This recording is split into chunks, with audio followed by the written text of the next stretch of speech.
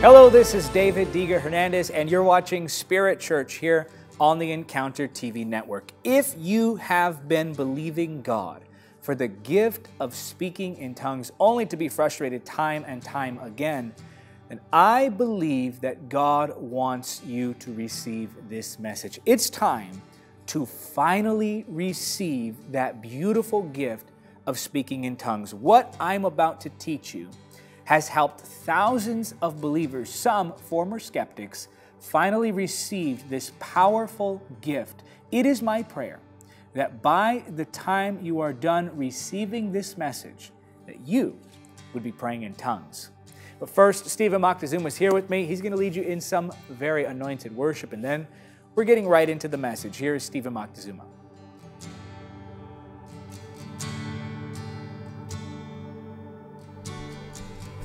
Blessing and honor, glory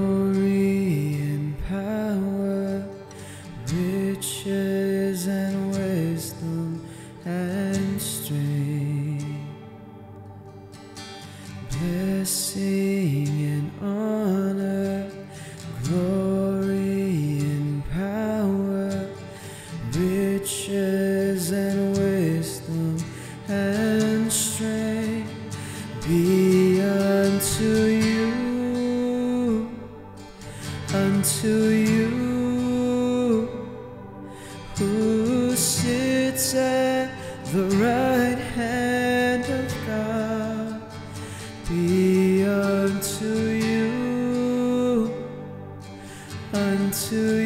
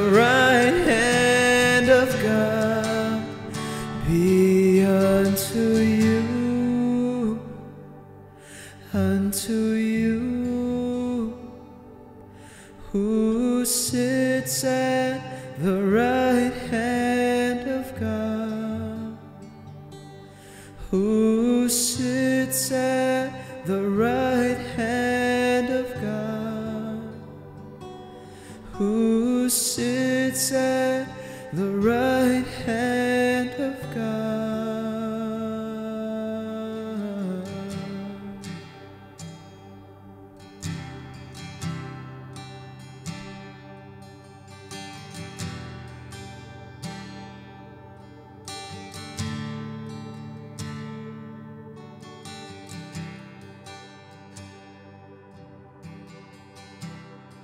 The gift of tongues cannot be taught.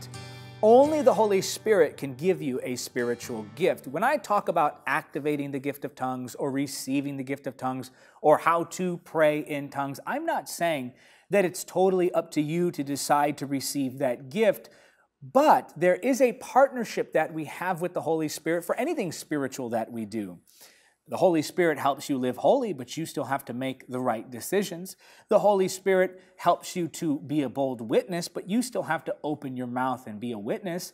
Maybe the Holy Spirit has imparted a gift of healing, but you still have to lay hands on the sick. So there is a partnership in the Spirit between you and God. So when I talk about how to receive or how to activate the gift of speaking in tongues, I'm talking about this partnership. When my Ariel was born, she was born seeing and hearing.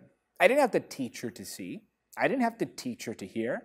But as time goes on, I will have to teach her to observe.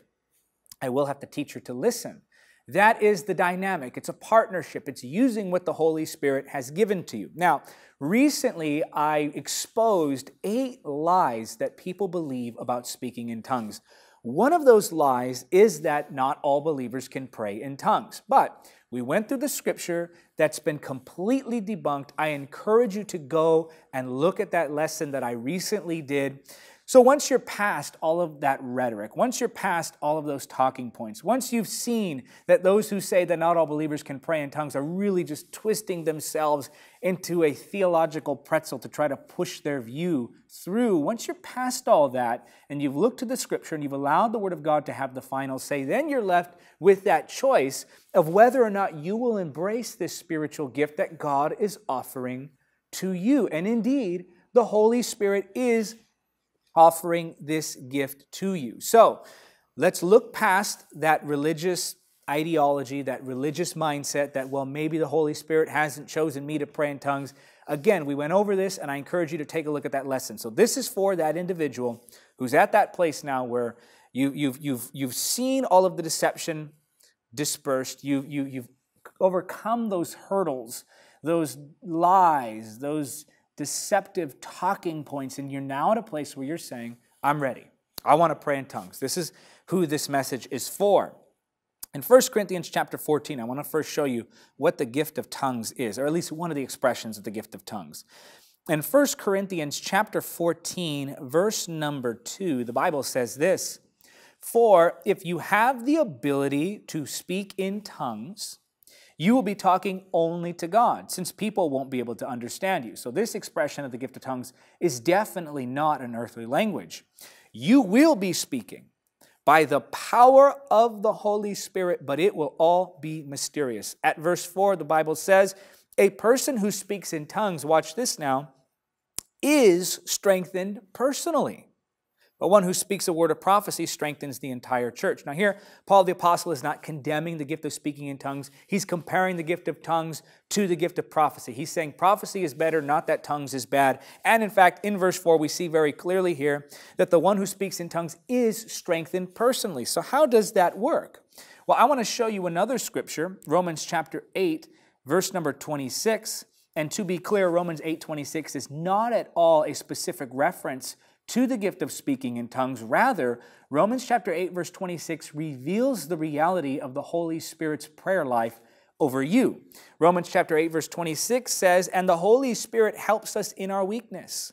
For example, we don't know what God wants us to pray for, but the Holy Spirit prays for us with groanings that cannot be expressed in words. And the Father, let's read verse 27, and the Father, who knows all hearts, knows what the Spirit is saying for the Spirit pleads for us believers in harmony with God's own will. So we see that the Holy Spirit prays for us. Now watch this. 1 Corinthians, let's go back to 1 Corinthians. 1 Corinthians chapter 14, let's read verse number 14. For if I pray in tongues, my spirit is praying, but I don't understand what I am saying. So the Holy Spirit prays. When I pray in tongues, my spirit prays. And if you go to 1 Corinthians chapter 6 verse 17, you'll see a powerful scripture here, but the person who is joined to the Lord is one spirit with him. So it's very simple. The Holy Spirit prays for me. My spirit prays when I pray in tongues. If in fact my spirit is joined with the Holy Spirit, then when I pray in tongues, I'm praying what the Holy Spirit prays because my spirit is joined with him and prays in harmony with him. Therefore, speaking in tongues is allowing the Holy Spirit to pray for you through you. Speaking in tongues is allowing those prayers of the Holy Spirit to become your prayers. And this is what makes this, the gift of speaking in tongues so powerful. Now, how do you activate this? You'll notice that there are some mental blocks that keep people or keep you from receiving this gift. And it really does all come down to one thing. I'm going to say something very bold, and it may sound arrogant, it may sound like I'm being um, like I'm making a huge assumption here, but I want you to hear me out. I'm going to say it and then I want you to hear me out. I know why you can't pray in tongues. And it comes down to one thing and one thing only. You cannot pray in tongues because of your ego. Now, I know that sounds right off the bat like a very harsh statement, but I want you to think about this. Ego isn't necessarily just pride. Ego is the, the, the self. Ego is, is the flesh. Ego is self consciousness. Ego is doubt. Ego is worry. Ego is overthinking. Ego is, in some sense, pride. Pride is a manifestation of the ego, but all of those other things that I listed are also a part of the ego. Bottom line, you can't pray in tongues because you're getting in your own way. This is where most believers get stuck. They can't seem to get themselves to actually speak out the syllables and sounds. Instead of acting on faith, they wait around for something to happen. You must choose to act. You must choose to overcome self. Fear asks, What if it's demonic? What if God gets angry at me for trying? What if the gift isn't meant for me? Pride says, I'll look silly. The overthinking mind insists, That's just me making noises. It's not the gift of tongues. Ego clutters the mind, obsessing over it, analyzing it, questioning it, doubting it. That all needs to stop. You need to act. It's time to begin praying in tongues. Literally, right now, I'm saying to you that it is your ego that will not let you get the words out. You see, the Holy Spirit has deposited this gift in you. That ability to connect with God spirit to spirit through the gift of speaking in tongues is yours. If you've asked for it, it's yours.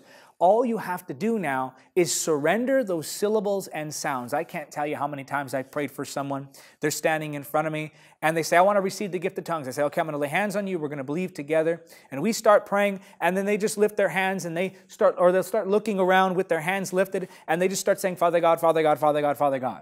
Or hallelujah, hallelujah, hallelujah, hallelujah. Or thank you, Jesus, thank you, Jesus, thank you, Jesus. And they just repeat words of their own understanding, not making way for the syllables and sounds that are surrendered to the Holy Spirit's will.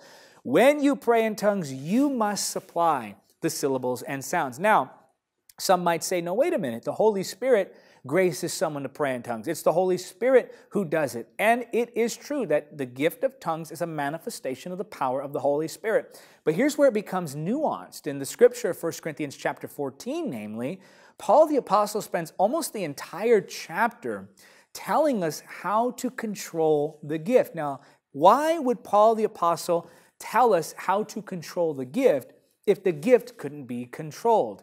As I was saying earlier, anything that you do that is spiritual is a partnership with God. It takes your part working with God's part. It takes your surrender, your obedience, your acting out in faith. All spiritual dynamics require you to act out in faith. The gift of speaking in tongues is no different. So, how do you receive this? Number one, request it. Luke chapter 11, verses 11 through 13 say this You fathers, if your children ask for a fish, do you give them a snake instead? Or if they ask for an egg, do you give them a scorpion? Of course not. So if you sinful people know how to give good gifts to your children, how much more will your heavenly Father give the Holy Spirit to those who ask him? Again, that's Luke chapter 11, verses 11 through 13. So, number one, ask for it. Ask for the gift of speaking in tongues. Paul the Apostle says, I wish that you all would speak in tongues. And Paul the Apostle would not ask us or suggest something like that if it was contrary to the will of God. Why would Paul the Apostle say, I wish you all prayed in tongues, if that wasn't the will of God? And if it was just Paul's will, why would the Holy Spirit allow that to be recorded in the scripture, which were divinely inspired? God allowed that to be there because all of us can ask for this gift. All of us can desire this gift of tongues, and all of us have been given this unction by the Holy Spirit. Number two, realize. So, number one, request. Number two, realize. Once you've requested the gift of tongues, realize that you've received it. Don't doubt it, don't debate it, don't question it. The gift is in you now, even if it hasn't manifested yet. It's that simple. Even if you didn't feel anything when you asked, believe God's word. Be confident that the gift has already been deposited in you. So know that that ability to pray in tongues, that ability to surrender syllables and sounds and allow the Holy Spirit to add his intention and meaning has already been given to you. Number three, relax. This may not sound spiritual, but it's one of the most spiritual things you can do. Those who are filled with peace and trust can relax. Just calm down. Stop overthinking it. Stop obsessing about it. Stop saying to yourself, that's just me, or that's, that's not of God, or that's demonic. And just allow the Holy Spirit to move through you. Number four, release. You may ask, is this just me? Is, is, is, is this just me making this sound? And the fact of the matter is, yes, it's partially you, but it's not just you. Praying in tongues is like starting your car. You know, you're not the one that makes that engine go. You just turned the key. You took a small action and then the engine took over. The operation of that car is not you, not necessarily. You can't go as fast as your car can go.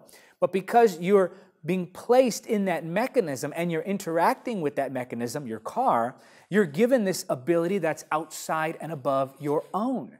So then, when you pray in tongues, you initiate the gift by surrendering the syllables and sounds. This is the hardest part because when you sense that unction, you know the gifts in you. You know that if you just surrender the syllables and the sounds, that you can trust the Holy Spirit to add His own meaning to them. But most people get stuck there. Is this just me? They keep asking. Again, like anything spiritual, it's a partnership. Here's what you got to do you have to just surrender the syllables and the sounds. That part is on you. And then you trust that the Holy Spirit is going to do His part and fill those sounds with His intention and His meaning and His purposes and His power and His nature. His essence will come through on those prayers. So I want you right now. Let me tell you something. There will be some who receive this message and they say, You know, Brother David, I listened to that message and it didn't do anything for me. I went to go try to pray in tongues and it didn't work. Let God be true and every man a liar. I'm telling you, that's the enemy trying to lie to you. That's the enemy using your flesh against you, your doubt, your skepticism. If you would just give him the sounds, the gift would start to work in your life. So then you have to ask yourself Will I humble myself and trust the Holy Spirit to actually do something with the sounds that I give him? And if you do, you watch. There will be an unction that comes on. There'll be a flow to it that begins to develop. It will start off as rusty, a little bit difficult, but remember, the Holy Spirit has already given it to you. you he's given you the gift, but you must choose to allow by faith that gift to flow through you. So you must surrender the sounds. And if you come back to the place where you say, well, it didn't work, go back to what I just said. Go back to what I'm teaching here and realize, realize this is a fight of the flesh versus the spirit. And you must not allow the flesh to overtake you. Leave it to God to hide such tremendous power, such as the gift of speaking in tongues, behind such a childlike act. That's God's nature. To hide that power behind such a pure, simple act of trusting faith. So, Father, in the name of Jesus, I pray for those who are ready now to receive. And I ask you, Lord, to begin to stir that unction from deep within, for you have deposited that gift. And we thank you, Father, that the gift has already been given. I want you to say that. Say, Thank you, Holy Spirit. Say it out loud. Say, Thank you, Holy Spirit, for depositing the gift. Now say, Holy Spirit, help me release it. Father, in the name of Jesus, let that be stirred. Now, what I want you to do right in this moment, right now, I want you to begin to allow those syllables and sounds. You are in full control of your mouth. God will not take control and force something like that on you. It's your decision. So begin to release that sound now. Father, in Jesus' name, I pray you give them that unction. And begin to release them from that fear and that doubt and that hesitation in the name of Jesus. Thank you, Lord, that your power is now flowing. Just receive right where you are. Just begin to pray right now in the Spirit. Let it go, let it out. It may start off rough, but it will become a flow if you keep practicing that gift. Thank you, Jesus. I give you the honor and the glory. In Jesus' name, amen. I want you to say it because you agree. Say amen. Those of you who began to pray in tongues, I want you to write it in the comment section. And remember, there will always be skeptics, there will always be doubters, there will always be those who try to intimidate you with their so called knowledge and Bible intelligence and tell you that this gift isn't for today or it's not for every believer. I want you just to set aside that, dismiss people who just love debating, and just receive. Just receive from God and allow Him to work in you. He's doing it in you. And even if you, maybe you're someone who, who went through that and you didn't quite work up the courage to allow the Holy Spirit to flow through you like that, don't be discouraged. Just keep going. It will happen. And this is all you need to apply that simple trust, that simple faith. And I know that you will be praying in tongues. Let me know in the comments if you began praying in tongues. And that is it for the lesson. I want to welcome now the new members of Spirit Church. There you are up on the screen. We love you. We are praying for you. I always say that because I always mean it. If you'd like information on how you can join our online church, go to davidhernandezministries.com slash spirit church. When you go to that website, you're going to scroll down just a little bit. You'll see a form. It's 100% free. Fill out that form. Done. You're a member, and you'll begin to receive content from us on a weekly basis. And now to your comments. These comments come from last week's teaching on the second part of the eight myths about praying in tongues. So if you didn't see that two part message I did, go back right now, watch it.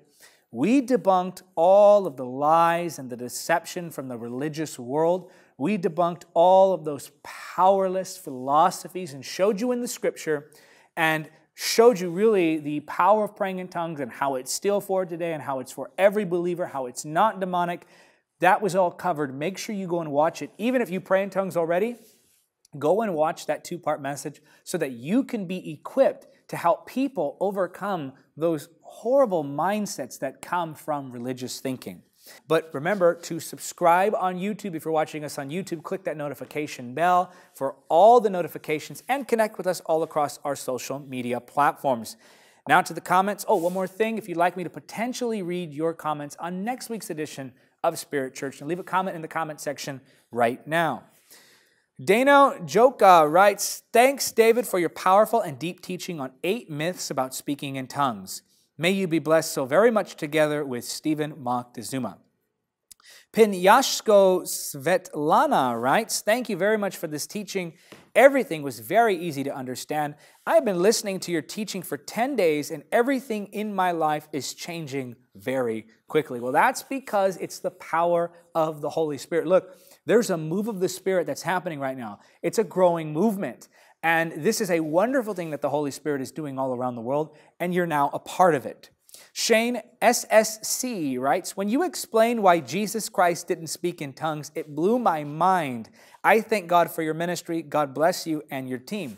Well, Shane's talking about when I address the myth that because Jesus didn't pray in tongues, neither should we. Now, I admit, Jesus most likely didn't pray in tongues. There's nothing in Scripture that indicates that he did. But I showed you why that is not a reason to reject the gift for us today. Robert Jacinto Batak writes Thank you for this two part lesson, Pastor David. This gave me a clear understanding about the power and importance of speaking in tongues. All glory to God. Well, I'm so blessed that you have been blessed. That's, that's really why we do this. We want to see lives transformed. We want to see people saved, healed, delivered. We want to see the Lord work in everyone's life who participates and receives from this content. Now, I need your help. We are being censored on some of the major tech platforms, and we don't put all our eggs in any one basket, so we're, we've always been prepared for that just in case people start to censor the message of the gospel through what this ministry is doing. So I need your support, I need your help. I need your partnership in ministry to help us continue to spread the gospel all around the world. Look, this ministry is effective. What we're doing is working. We are growing week over week, month over month. The event's growing, the media growing. So I need your help. Partner with us today and help us continue to spread the gospel of Jesus Christ all around the world in the power of the Holy Spirit. Would you do that today? Would you become a $10 a month supporter? Listen, $10 a month. Most of you watching this right now can do that. Most of you watching this teaching right now can partner for $10 or more a month. So here's what we're going to do. If you partner with us for $10 or more a month, our current partnership offer is this, and always check the website because these may be updated regularly. We will give you access to all of our partners' Zoom calls. These are Zoom calls that we have with myself, Steven, and just the ministry partners. I may bring in guests sometimes, and it's a really enjoyable time. You'll get 10% off all ministry apparel. You'll get a beautiful dove lapel pin so that you can show your support of the ministry. You'll get event seat reservations at all the miracle services and conferences around the world that we do. And you'll receive a monthly email update from me with exclusive behind the scenes information about the ministry. You'll be the first to know about any one thing that may be coming up with the ministry. Partner with us at $30 or more a month. We're going to give you all of that plus your selection of one of the four books in our partnership book catalog. One of the books, yes, is Praying in the Holy Spirit. So make sure that you sign up today. If you sign up for $30 or more, you will get that book. You can choose one, I'll sign it, we'll send it to you. And finally, at $100 or more a month, we're going to double that discount on all apparel. On top of that, we're not going to send you one, two, or three. We're going to send you all four of the books in the partnership book catalog. And Praying in the Holy Spirit is one of those books. So do that today. If you can't partner with us, then give a one time gift. Look, there's no better way to invest your resources. This ministry is good soil. It's very efficient, highly effective, major impact all around the world. And you can be a part of our movement. You can join our army of supporters. Just go right now, davidhernandezministries.com slash partner to sign up to become a monthly supporter or davidhernandezministries.com slash donate to give a one-time gift. There are people who give one-time gifts of 50, 100, some 1,000. We've even seen 10,000 and 100,000 come in, and thank you to those who did.